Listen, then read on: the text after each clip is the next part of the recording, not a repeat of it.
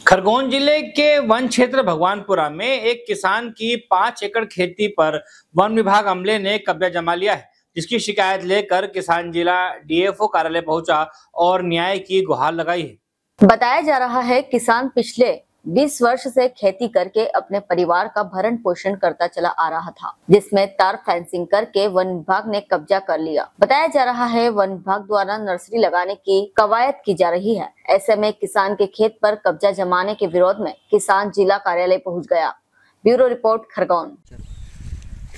से मैं जागा मांगी रही है कब से कब्जा है तुम्हारा? हमारा बीस साल है जी। अच्छा तो अब क्यों कब्जे में ले रहे हैं? जे फॉरेस्टर ये नौकरी लगा रही है पैसा मांग गया था हाँ।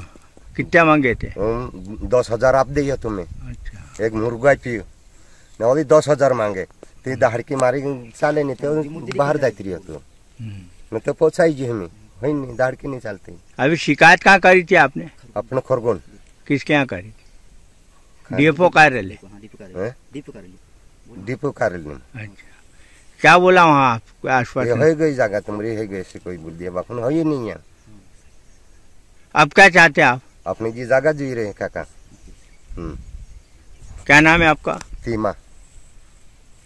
कलेक्टर ऑफ़िस भी गए थे आपने शिकायत भी करी है डीएफओ कार्यालय में? सो डिपो का कार्रवाई करी थी सर मैं निराकरण करवा दूँगा बोल रही थी। बाकी बाद में निराकरण हुआ नहीं। अच्छा। तो क्या हुआ क्या था? वहाँ पर बोल रहा था मैं करवा दूँगा। रेंजर साहब ने भी आ गया था ना देख के गया खेत पूरा। मामला ये हो बोल गया वो।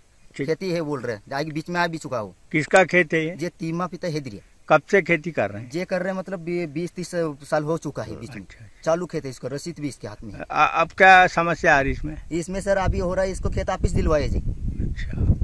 तो क्या कब्जा कर लिया? हाँ वो वो मतलब फॉरेस्ट वाला इनका कब्जा में कर रही आ, क्या नर्सरी वगैरह लगा रहे हैं? हाँ नर्सरी लगा रहा है सर वो वो सही है इसका। तो आपने उनसे बोला था? हाँ इनको बोला था तो दारू की रसीद बोल रहा था वो। अच्छा। इनको वन मंडले जी को वो रसीद थी तो दारू की रसीद बोल रहा था दिलीप फॉरेस्ट चौहान जी।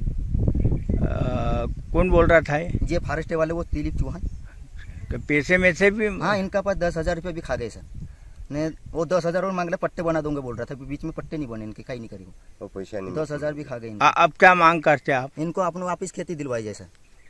क्या नाम है आपका? मेरा नाम गुरुलाल सर्जन सोलंकी। और ये खेत किसके नाम पे? जे खेत है तीमा पिता हेदरिया